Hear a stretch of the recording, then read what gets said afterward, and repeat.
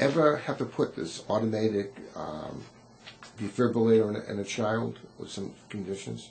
Yes, uh, defibrillators are uh, being used uh, more and, and more often, even in the pediatric population. Uh, uh, ICDs, or internal cardioverter defibrillators, are life-saving uh, devices uh, that can be employed for a, a variety of reasons.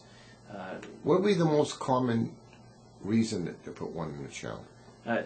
In a child or a young adult, typically the, the most common reason at, at this time is probably something called hypertrophic cardiomyopathy, where uh, patients have thickened heart muscle uh, and are susceptible for having uh, ventricular tachycardia and ventricular fibrillation and, and dying suddenly. Are they born with this or they acquire it? Uh, hypertrophic cardiomyopathy most often is a uh, condition with which uh, children are born, and it's progressive. It gets worse with time. Uh, it has a genetic basis, so it runs in families. Uh, Hypertrophic cardiomyopathy uh, may be severe in, in some people in the family and mild in other people in the family. And so it may be difficult to pick up uh, initially uh, in, in some members. But other members may be severely affected and, and require a defibrillator to save them from the potential of having uh, a life-threatening arrhythmia.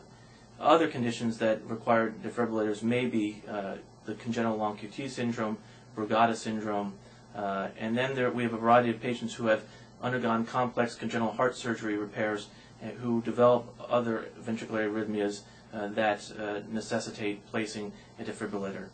A defibrillator, although it is life-saving, is associated with some uh, risks and side effects, and so the decision to place a defibrillator in any individual has to be weighed uh, heavily uh, f- uh, against the benefits and the risks for that individual. So not eh, not all these patients who have these diagnoses require an ICD. Usually it's not one person's decision, it's a group of of specialists in the family get together and make a decision together. Is that true? Uh, typically, uh, we we discuss these things uh, together, and the family is always involved uh, in making these decisions.